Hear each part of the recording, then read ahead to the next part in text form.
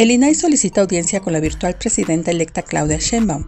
En una carta dirigida a la futura mandataria, el instituto señala que la transparencia es un contrapeso necesario para el ejercicio del poder, por lo que busca abrir un diálogo amplio y constructivo con el Ejecutivo. El Consejo de Seguridad de las Naciones Unidas aprueba una resolución presentada por Estados Unidos de apoyo a la propuesta de tregua que anunció el presidente Joe Biden el 31 de mayo, en la que se establece un plan de tres fases para poner fin a la guerra en Gaza. Las Chivas del Guadalajara fichan al México-americano Daniel Aguirre del Galaxy de Los Ángeles para el Apertura 2024.